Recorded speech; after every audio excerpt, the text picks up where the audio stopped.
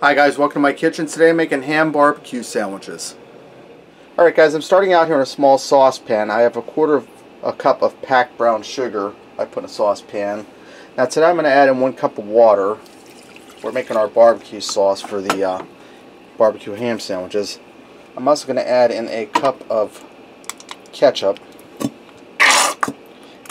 For this recipe I'm measuring, which I usually don't do, but uh, we want our sauce to taste good, so we got to get our ingredients correct.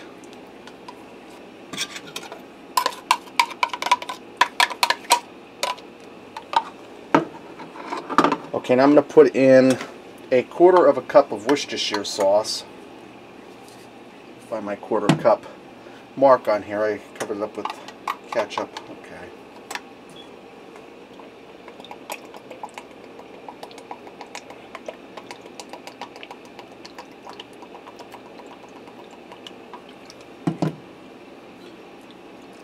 That down in there.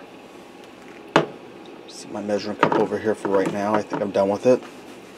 Okay, now I'm going to add in two tablespoons of white vinegar.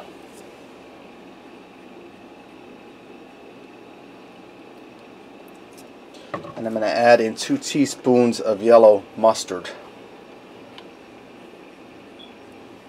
Spoon down there. This part here I'm just going to eyeball.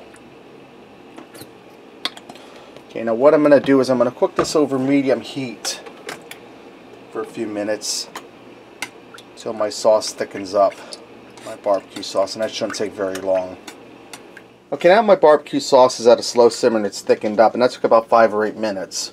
I have some imported ham I got at the deli. Them slice it thin. You could also use cooked ham, but I'd stay away from chopped ham because that's garbage meat. I'm going to throw a few slices in here to warm it through in the barbecue sauce. We're going to go for about four slices per sandwich. And I got two pounds of ham. Now I'm just going to stir the ham around here and let it simmer in here just for a minute. It won't take long to warm it through.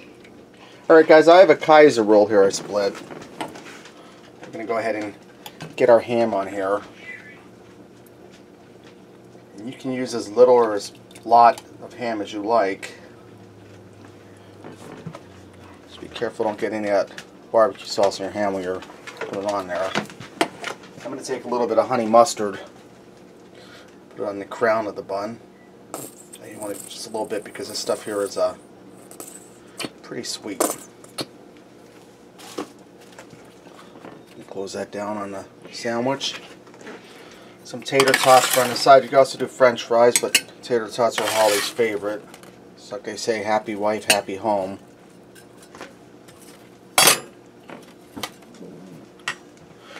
Okay guys, there you have it. Ham barbecue sandwich. Give it a try. Thanks for watching, and until next time, I'll see ya.